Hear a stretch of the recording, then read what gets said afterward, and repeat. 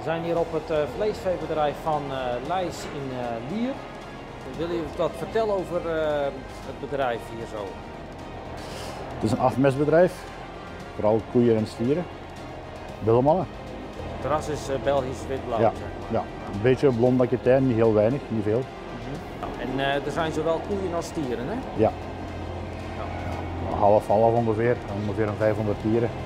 Wat voor leeftijd komen ze gemiddeld binnen, zeg maar? De stiertjes, daar is rond de 350, 400 kilo, 200 kilo af en toe. Uh, koeien zijn reformenkoeien, zijn oudere koeien eigenlijk. Die kunnen, die kunnen vier jaar zijn, die kunnen zes jaar zijn, lang vanaf. Koeien worden daar gelost in de loskaai. Daar is een wachtruimte. En dan worden ze daar gelijk. Ze hier die boxen die echt met elkaar worden geschoren, worden ze gewogen en dan gaan ze eigenlijk naar de stad. Als ze verdeeld, zware en minder zware.